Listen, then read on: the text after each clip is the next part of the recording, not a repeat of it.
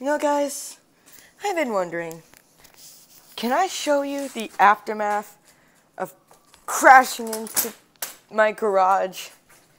Well, you're in luck because today I'm actually going to show you. Okay, so first I prepare like the title, what I'm to do, what the skit is. So then after I plan that out, it all I decided it will all end with me crashing into the garage. Okay, so let's do this.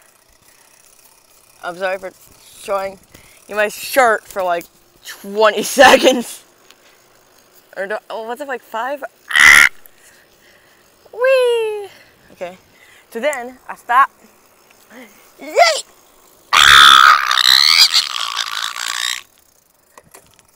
Okay.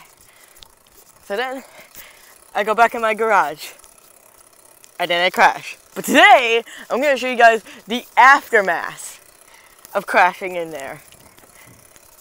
Sometimes I get, ah! I'm scared now. I think I should do, no!